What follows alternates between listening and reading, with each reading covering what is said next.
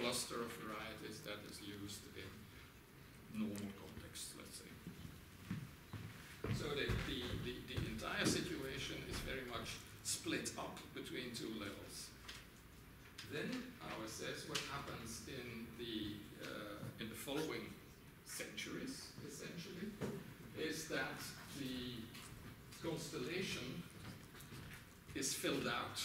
So you have these two levels, and gradually you get the emergence of language varieties, lects if you wish, that are situated somewhere in between the two, uh, the two original ones.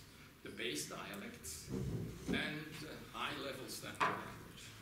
That would be things like regional, sta regional standards or colloquial forms of the language, maybe with a little bit of local accent and so on.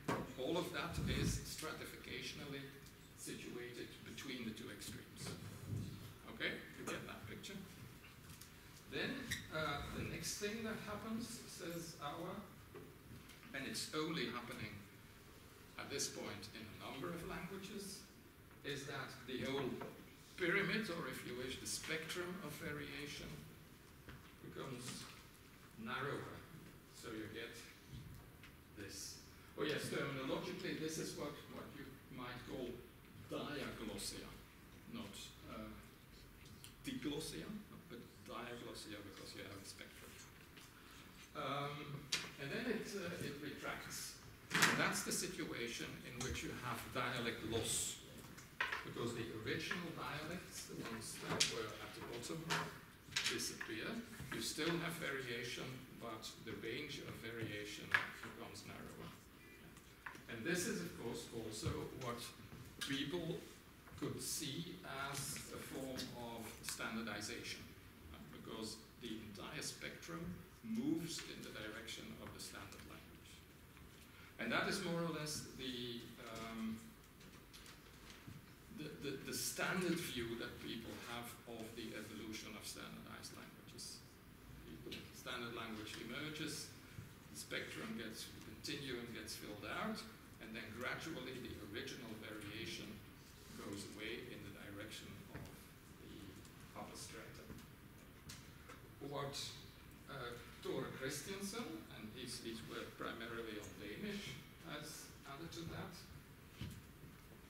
is the suggestion that after that process of, stand, of standardization, there would be something like a postmodern process of destandardization of, or informalization, by which the, the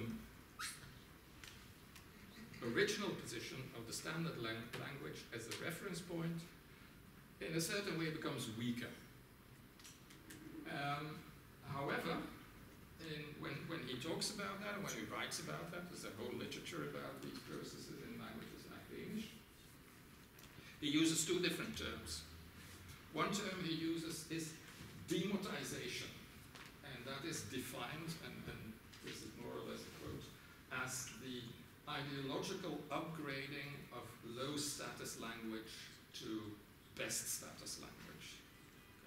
So that is in circumstances where you used to use a very uh, standardized, maybe let's say formal type of language, you can now use forms of language that maybe a generation ago belonged to the colloquial speech or colloquial levels of the language. So the old colloquial language, language becomes a new standard. Uh, another term that he uses is destandardization. And that is more or less uh, a, a, development or a possible development whereby the established standard language loses its position as the one and only best language. Okay.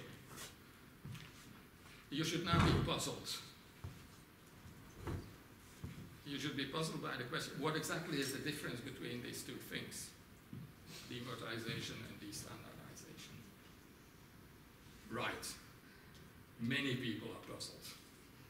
And many people have been working with these terms and trying to find of things that fit into one of the categories and examples that fit into the other categories.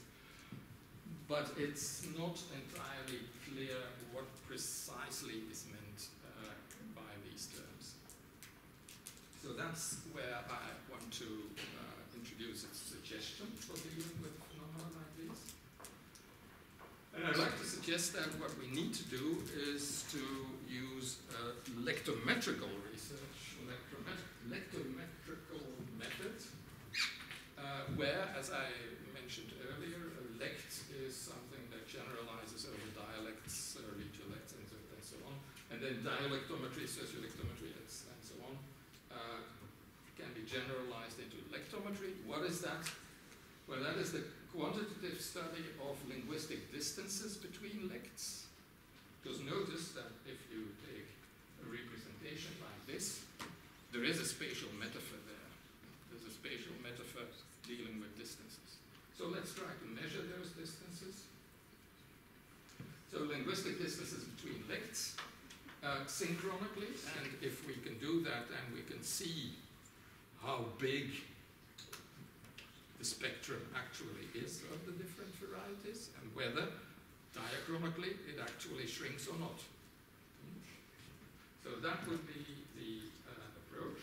And so diachronically, that's a question about convergence and divergence.